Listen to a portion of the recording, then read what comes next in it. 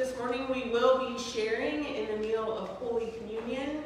All are welcome at the Lord's table. You're invited to come forward and receive a piece of bread from me and then move to either side where you can take a small pre-filled glass of either grape juice or wine. The grape juice is the clear liquid in the center, the wine is the red around the outside.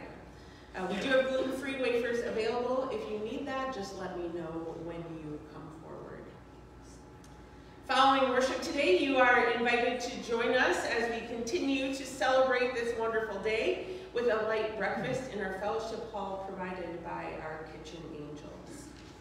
And then as we continue this celebration of Easter, we hope you will join us next Sunday as we celebrate by hearing resurrection stories and singing lots of Easter hymns in a, a service of Easter lessons and carols, again at 9.30 next Sunday, which will be followed by our intergenerational Sunday school. Uh, and so hope you will join us for all of that next Sunday. We begin our worship this morning and our celebration of the resurrection of Jesus with a special anthem by our choir.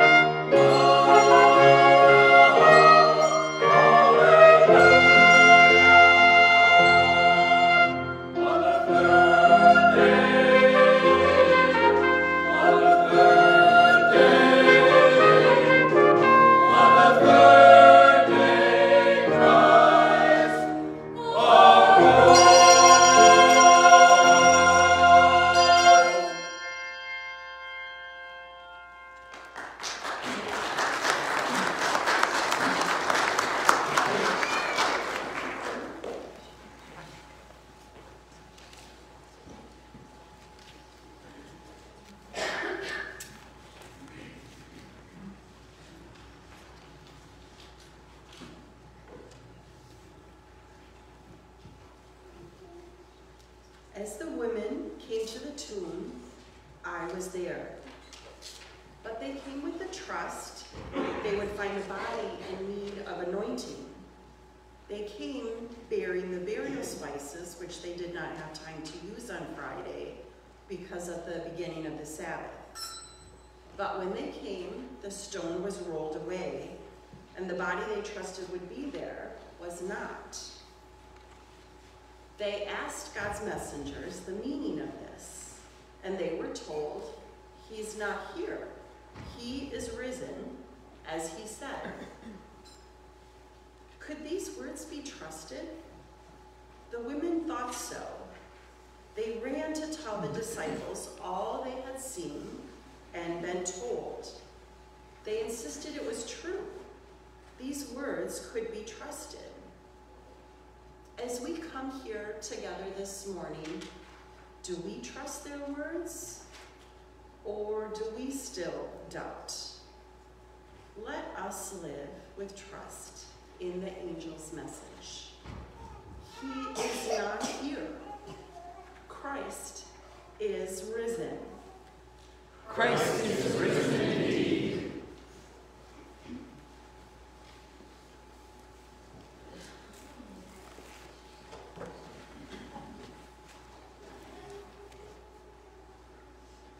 As the women set out the tomb, there was only sorrow. Sorrow from what had happened on Friday. They came to anoint a body, wondering how they would be able to move the stone, wondering if the soldiers would even permit their entrance into the tomb. Even in sorrow, they needed to perform this one last act for the one they had followed. But at the tomb, the stone was already rolled away. Men in white, messengers from God, were there. Why do you seek the living among the dead? He is not here. He has been raised. the messengers reminded them of Jesus' own prediction of his fate and how he said he would rise in three days. In celebration, they ran to tell the men the good news. He was alive. But the men didn't believe them. Only Peter and John went to the tomb, but Peter still did not understand. He could not celebrate with the women. As we come this morning, do we also remain in our sorrow, or can we celebrate the truth the women understood? Let us celebrate the message. He is not here. Christ is risen. Christ is risen indeed. Thank you.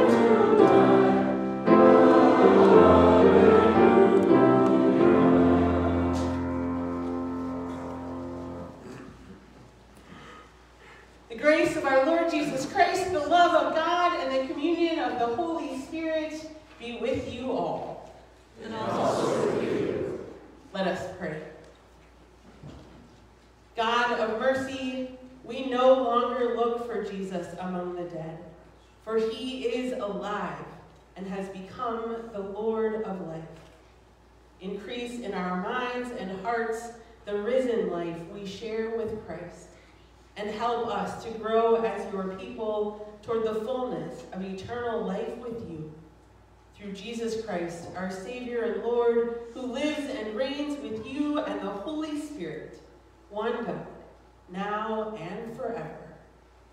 Amen. You may be seated.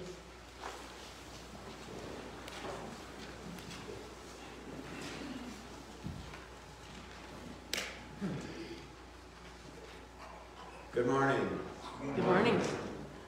The first reading is from Acts chapter 10, verses 34 through 43. A reading from Acts. Peter began to speak to the people. I truly understand that God shows no partiality, but in every nation, anyone who fears him and does what is right is acceptable to him. You know the message he sent to the people of Israel, preaching peace by Jesus Christ. He is Lord of all. That message spread throughout Judea, beginning in Galilee with the baptism that John announced. How God anointed Jesus of Nazareth with Holy Spirit and with power. How he went about doing good and healing all who were oppressed by the devil, for God was with him. We are witnesses to all that he did, both in Judea and Jerusalem. They put him to death by hanging him on a tree.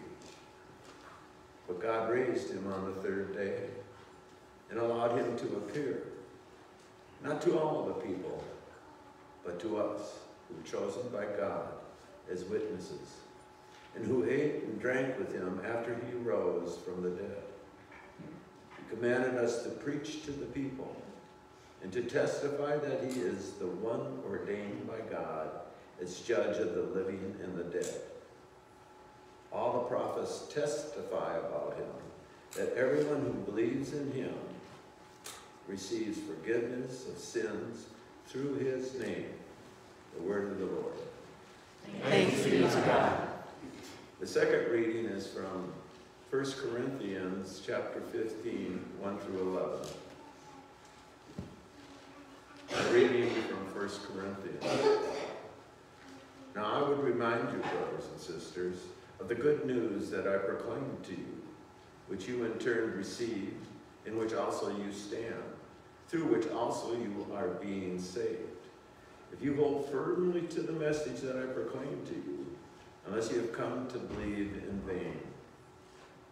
For I handed unto you as of first importance what I in turn had received, that Christ died for our sins in accordance with the Scriptures, and that he was buried, and that he was raised on the third day in accordance with the Scriptures, and that he appeared to Cephas, then to the twelve. Then he appeared to more than 500 brothers and sisters at one time, most of whom are still alive, though some have died. Then he appeared to James, then to all the apostles. Last of all, as to the one untimely born, he appeared also to me.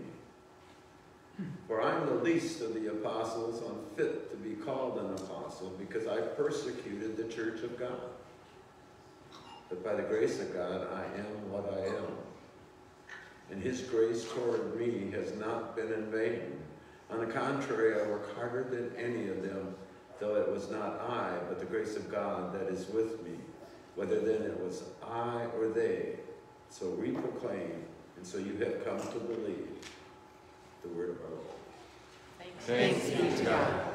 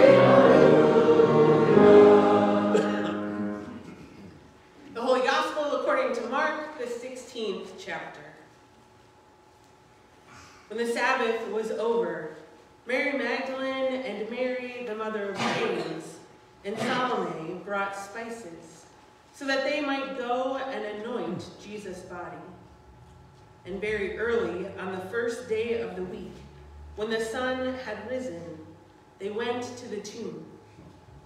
They had been saying to one another, Who will roll away the stone for us from the entrance to the tomb? When they looked up, they saw that the stone, which was very large, had already been rolled back. As they entered the tomb, they saw a young man dressed in a white robe sitting on the right side, and they were alarmed. But he said to them, Do not be afraid. You are looking for Jesus of Nazareth, who was crucified. He has been raised. He is not here. Look, there is the place they laid him.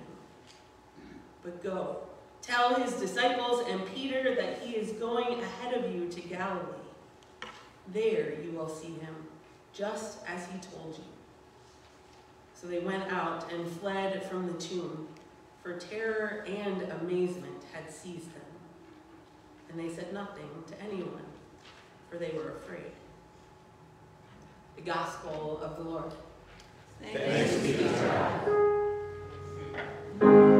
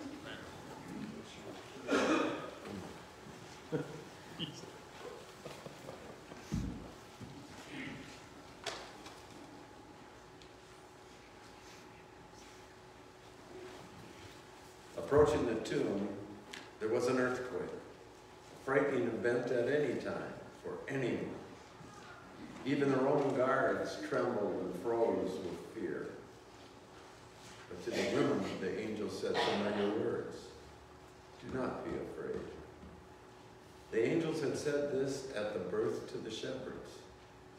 Now the words were for the women. The angel also told them that Jesus was raised from death. Could this be? Was it possible? They listened, full of wonder, wouldn't we? Even though some fear remained, they ran to tell the disciples, as the angel had instructed. On the way they met Jesus, he said the same words. Don't be afraid. How could this be? Could they dare to believe what they were seeing? How could they not believe? The mixture of joy and fear filled them. It was the wonderment of this fantastic event. As we come this morning, let us leave our fear behind and accept the wonder of a resurrected Christ. Come to the tomb and see. He is not here. Christ is risen. Christ, is risen indeed.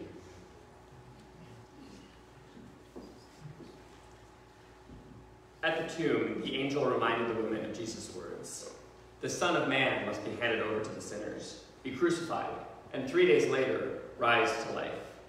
And the women remembered. They went back to the eleven to say that all was fulfilled. But the men thought that the women that what the women said was nonsense and did not believe. Only Peter went and looked in the tomb and went home amazed. But in the evening, the eleven had other visitors, including Cleopas. They told of walking home with a stranger, but explained the scriptures to them. He began with the book of Moses and continued through the prophets, reminding them that the Messiah needed to suffer the things they had said about Jesus before entering into his glory. They told the disciples it was like a burning fire within them, as the stranger explained all of this. Finally, the stranger broke bread with him, and they realized he was no stranger. It was Jesus. He had indeed fulfilled all of the scriptures. How ashamed they were not to have recognized it sooner. Realizing Jesus had fulfilled all of scripture, they too were fulfilled in their lives. As we come this morning, let us put aside the shame of our past. Let us live a fulfilled life in the presence of a risen Messiah. Hear the good news. He is not here. Christ is risen. Christ is risen indeed.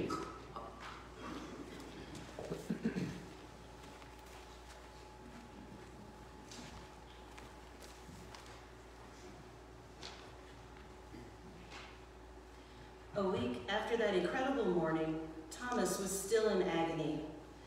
The others had said Jesus had come to them last week, in the evening, but he wasn't there. They really seemed to believe it was Jesus.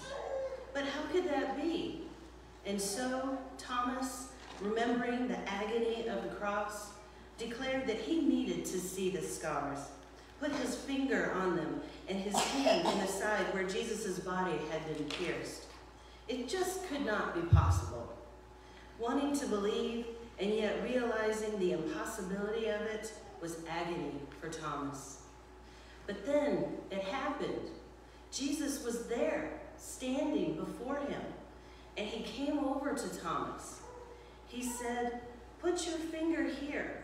Look at my hands. Reach out your hand and put it in my side. What joy! It was Jesus. Without having to touch him, Thomas knew. The agony was gone. Only joy remained as Thomas exclaimed, My Lord and my God. As we come this morning, do we still suffer the agony of doubting his living reality? Stop the agony. Be filled with joy. Hear the message. He is not here. Christ is risen. Christ is risen indeed.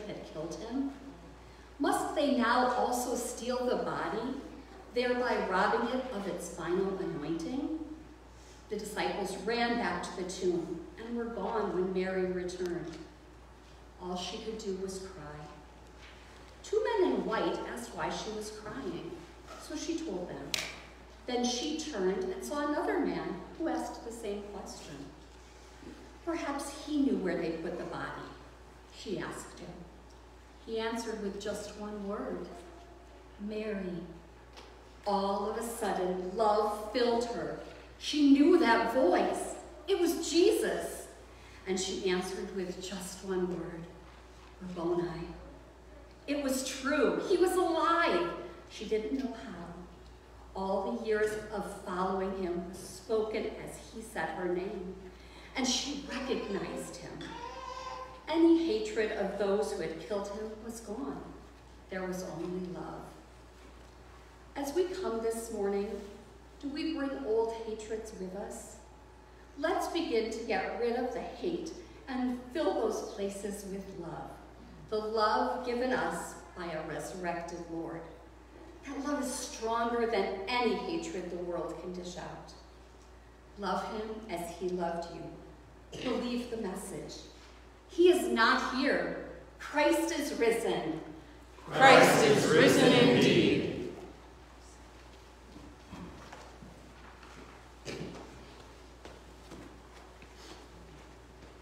On Friday, death proclaimed victory.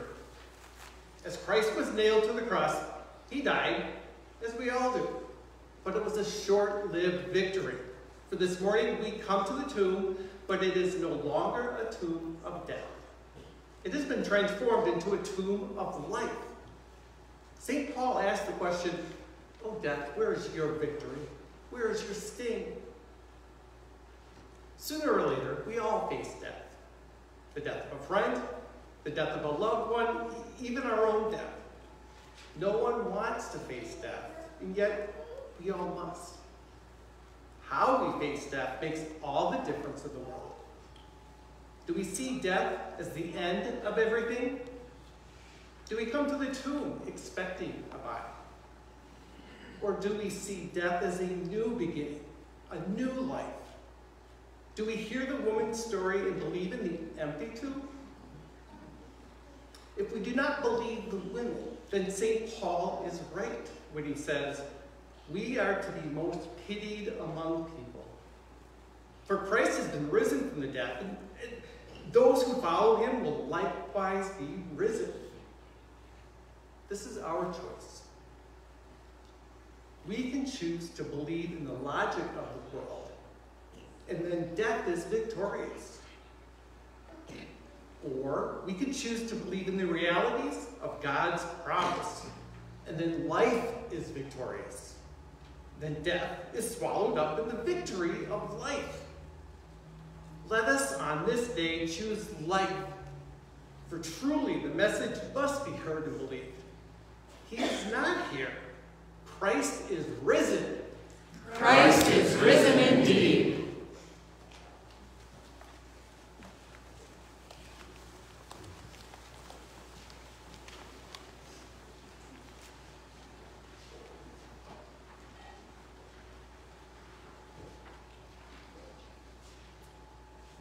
Trust, celebration, wonderment, fulfillment, joy, love, life. These are the voices of resurrection that we have heard this morning. These are the gifts of Jesus that we celebrate on this glorious Alleluia Day. But more than that, these are the realities in which we live every day because of the resurrection of Jesus. I saw something yesterday saying that we all live most of our lives as if it was Holy Saturday, that time in between. We don't always live in the deep sadness of Good Friday. And we also don't live most of our days in the great joy and celebration of Easter Sunday. Instead, we live usually somewhere in between, in a time of waiting, time of anticipation, maybe even a time of preparation. Just think about what your day looked like yesterday. I would guess that for many of us, it was a day like any other. Perhaps with the added responsibilities of preparing for Easter celebrations in a variety of ways. But for the most part, Holy Saturday is a day like any other. But I also know that sometimes it doesn't feel that way. Not always, but some years it feels weird to me to do normal things on Holy Saturday. Of respect, I shouldn't do laundry or bake or watch TV. After hearing once again the story of Jesus' crucifixion on Friday, as we wait for the good news of resurrection on Sunday, we have this day in between. Sometimes for me, it almost feels like I'm holding my breath until Sunday morning, when I'll again hear the proclamation that He is risen. On that day, I'm caught between doubt and trust, between sorrow and celebration, between fear and wonderment, between shame and fulfillment, agony and joy, hate and love, death and life. Throughout our lives, we each move around on those spectrums. Somewhere in between those polar opposites is where we spend most of our days. Not drowning in the lowest of lows, but also not celebrating the highest of highs. We find ourselves someplace solidly in the middle. And while there's a lot about the sentiment of living most of our days on Holy Saturday that I really appreciated, I also think there's an important distinction to make. Unlike the disciples, who lived that in between day full of questions and uncertainty, for us, that day can be a day like any other because we know that today is coming. We know that resurrection happened and is happening all around us. At our core, we are Easter people. Because Jesus died and rose again, we can live in the transformed reality that Jesus' resurrection has created for us. Being Easter people doesn't mean that we won't experience Good Friday like days. But we experience those days through the lens of Easter. We never have a day where the resurrection hasn't happened. And that hope guides us and helps us until the gifts of this day come fully into view for us once again. We know that sin and death are defeated and that Christ is risen from the dead. We can trust the promises of our living Lord Jesus, who offers us grace and forgiveness, who promises to always be by our side. Because of this day, because Jesus rose from the dead, we never have to face a day without knowing the love, power, grace, and hope of our risen Lord. Equipped with the gifts of this day, we are empowered to step into the world in a different way. On our best days, on our worst days, and all the days in between, we carry with us the trust, celebration, wonderment, fulfillment, joy, love, and life that surrounds us today, even as we proclaim, Alleluia, Christ is risen. Christ is risen indeed. Alleluia.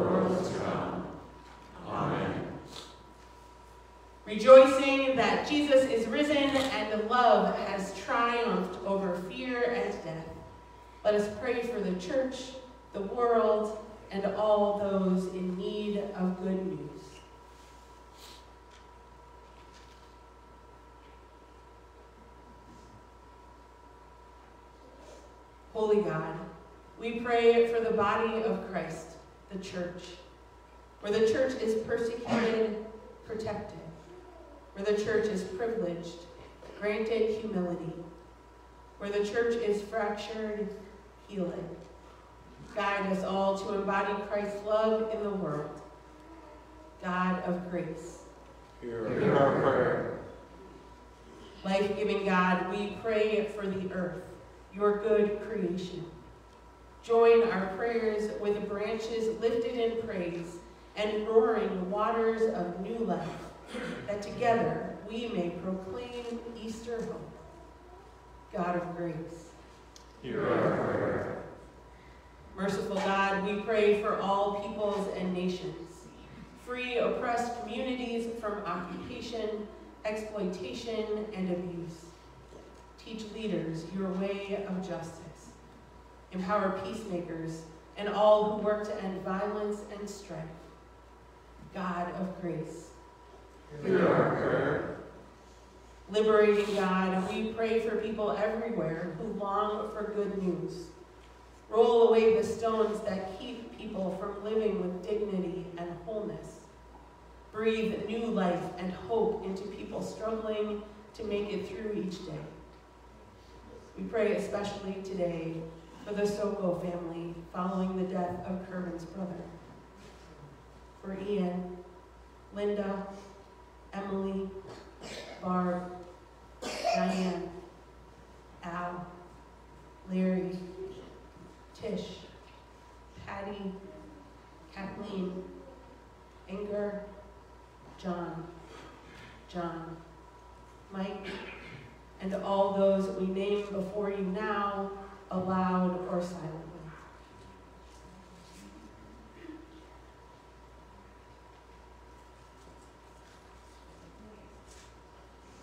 God of grace. Hear our prayer. Loving God, we pray for this community of faith and for your spirit in our midst. Feed us at your Easter table and fill us with your wisdom, that we may serve and care for others. God of grace. Hear our prayer. Eternal God, we remember those who have gone before us in death. Renew our trust in your promises, that we live with joyful courage and compassion. God of grace. Hear our prayer.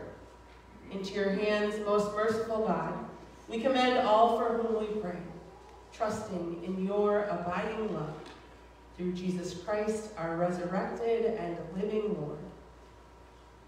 Amen.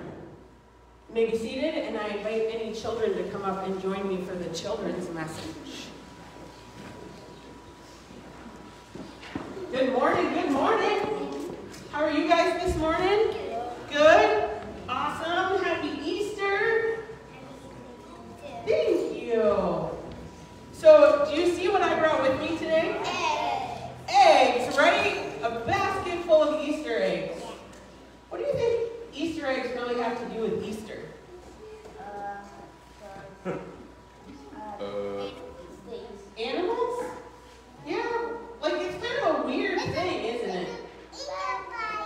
The Easter Bunny, right? Right? We celebrate that the Easter Bunny brings us eggs.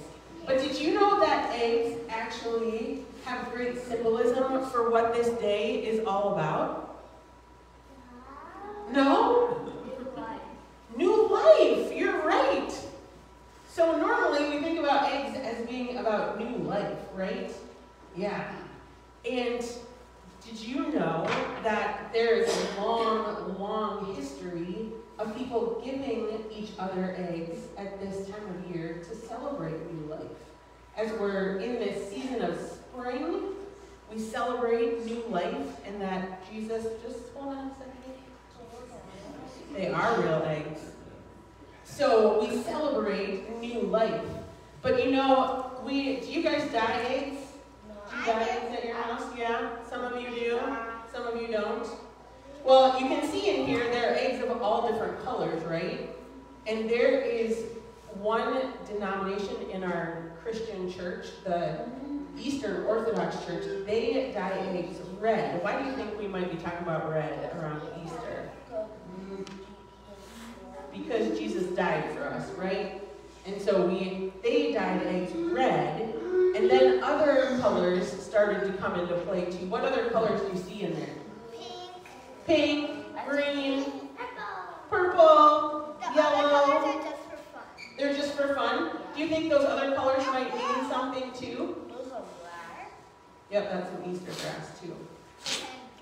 Pretend grass. Yeah, it's not real grass. So some of these other colors come into play. We often we think about yellow as being the color of resurrection. We have white on our altar, but white and yellow are the colors of Easter. Maybe yellow mm. could be friendship. Yellow could be friendship. Yep. When we, when you see green things, what do you think about? Grass. Grass. You think about things growing. I think about plants, right? Plants, yeah. We think about, when we think about green, we think about things growing, right? And so all of these eggs can have, can have some symbolism to them. And so we have these eggs that are all kinds of different symbols of what we celebrate with Jesus rising from the dead today. And there's, there's one that's broken. All right. Well, so the other thing that I learned, have you guys ever heard about an Easter egg roll? roll Easter You roll Easter eggs. They do that at the White House every year. And they they roll the Easter eggs. I don't know the whole thing, but I learned this week while I was doing some research about Easter eggs that part of the symbolism of that is the stone being rolled away from the tomb. So we have all kinds of symbolism of what eggs do for us, right? So for those of you who do dye eggs, what's the process? What do you have to do to dye Easter eggs? Um, you have to get color dye, and you might roll the eggs in it. Okay, you get colored dye and you roll eggs in it. Do you use eggs right out of the fridge? No. No. What do you have to do to them first? Sometimes. I use um Easter egg that's Oh, you use fake Easter eggs? You don't get yours out of the fridge? Yeah, because because we have hard boiled. You have hard-boiled eggs at your house, huh? That is probably a good move, right? Because if you don't hard-boil them first, they're really fragile, aren't they? Yeah. Sometimes people put on their heads in the fridge. And if they put them on their heads, they could break, right? So what if I told you that I I didn't boil these eggs? Would you be worried about that? I don't think you could buy them. You don't think I could dye them without boiling them? So should we, should we test it out? Sure. So I brought a bowl. Is anybody brave enough to put their hand underneath this egg as I break it? Yeah. Yeah? You wanna put your hands under there? Yeah. Are you ready? I'm gonna break this egg. Okay. Are you ready? Can everybody see? Yeah. All right, ready? One, two, three.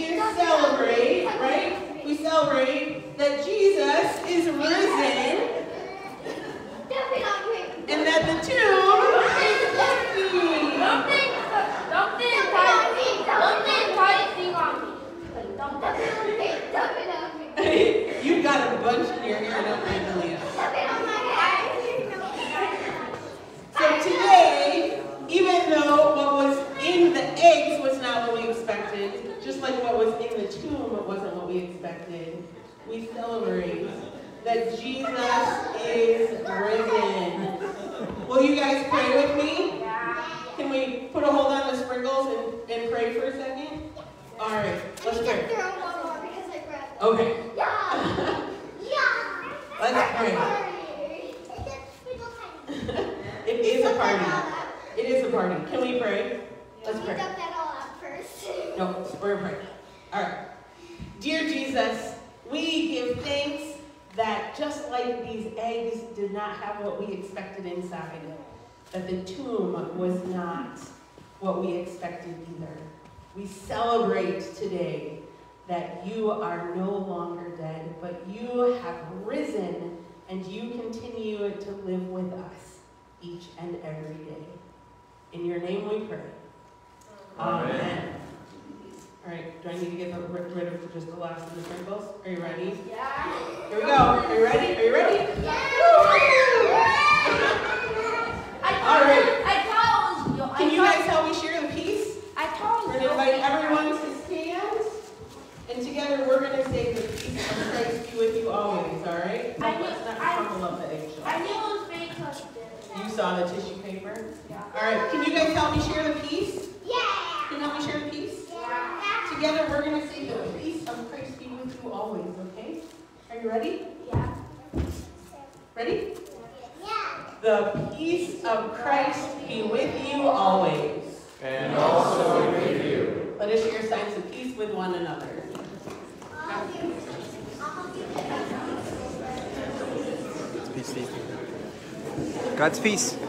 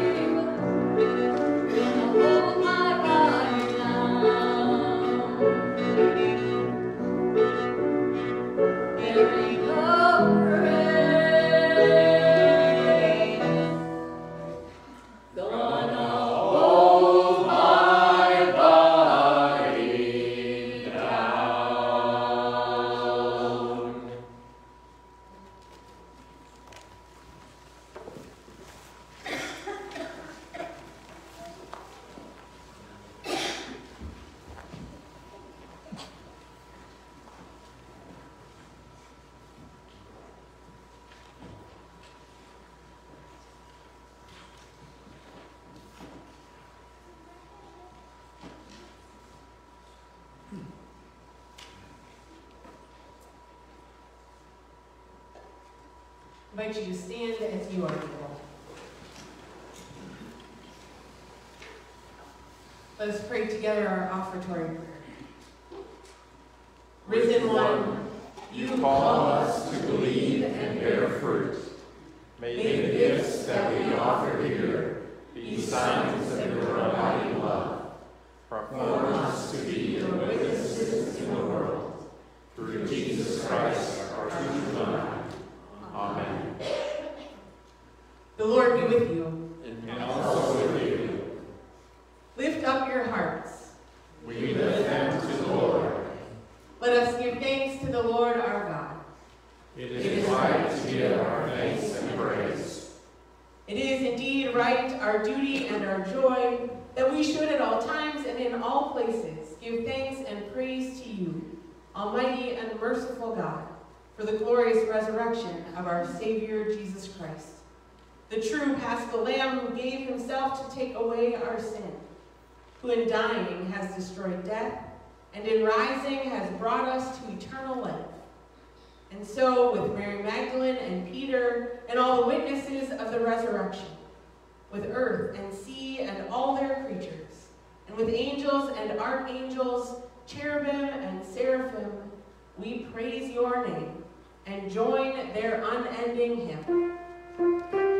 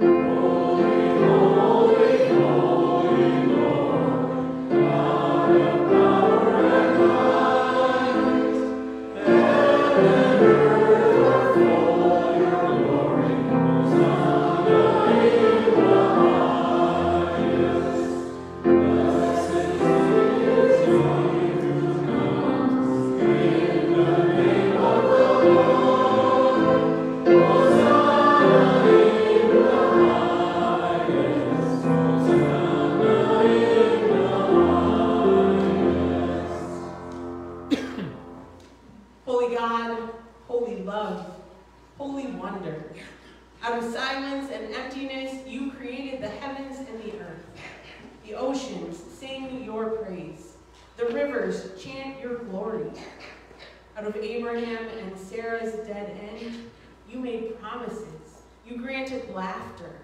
You brought forth descendants to continue your story. Out of the deathly power of oppression and slavery, you liberated your people and blessed them with water, bread, and wine. Out of their lifeless wandering from your justice and mercy, you sent them prophets who sang poems that serenaded them back to you. In your great compassion for every tribe and nation, you sent Jesus to bring everyone out of the tomb of hatred and sin and into the life of your love. He fully embodied your compassion, lifting up the poor, raising up the lowly, forgiving the sinner, suffering and dying, so that no one need suffer injustice and fear anymore. Out of the death of his own tomb, you raised him up so your story of love will not end. The night in which he was betrayed, our Lord Jesus took bread and gave thanks, broke it and gave it to his disciples, saying, Take and eat. This is my body given for you. Do this for the remembrance of me. Again, after supper, he took the cup, gave thanks, and gave it for all to drink, saying, This cup is the new covenant in my blood, shed for you and for all people for the forgiveness of sin.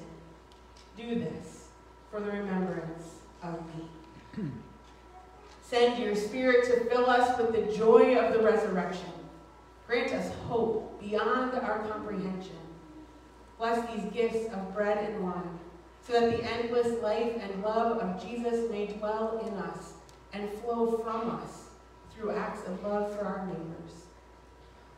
Holy God, holy love, holy wonder, we give you more praise than we can utter as we await that great day when the feast of your love has no walls, no exceptions, no end. When we gather with Christ by the Spirit and know life in you, love that cannot die, love that enlivens our weary bones, love that exceeds every hope and dream, love, now and forever.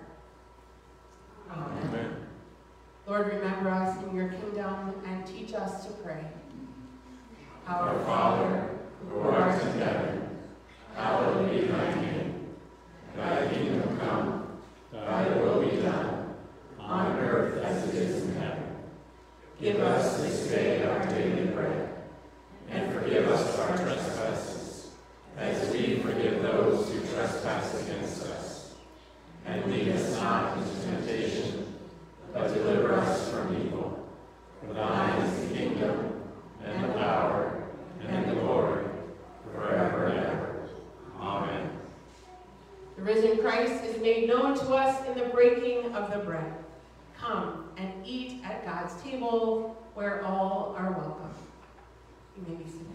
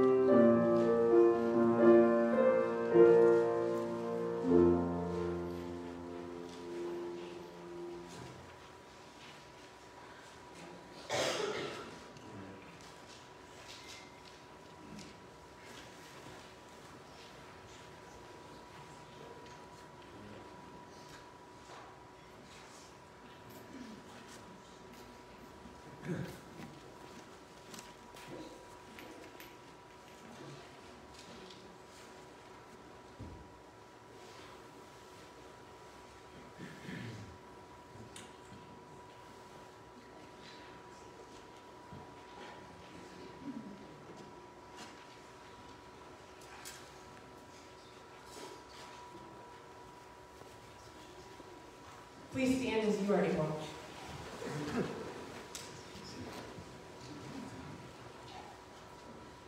Now may the body and blood of our Lord and Savior Jesus Christ strengthen you and keep you in his grace. Amen. Let us pray. Shepherding God, you have prepared a table before us and nourished us with your love. Send us forth from this banquet to proclaim your goodness and share the abundant mercy of Jesus, our Redeemer and friend. Amen. Alleluia! Christ is risen. Christ is risen indeed. Alleluia.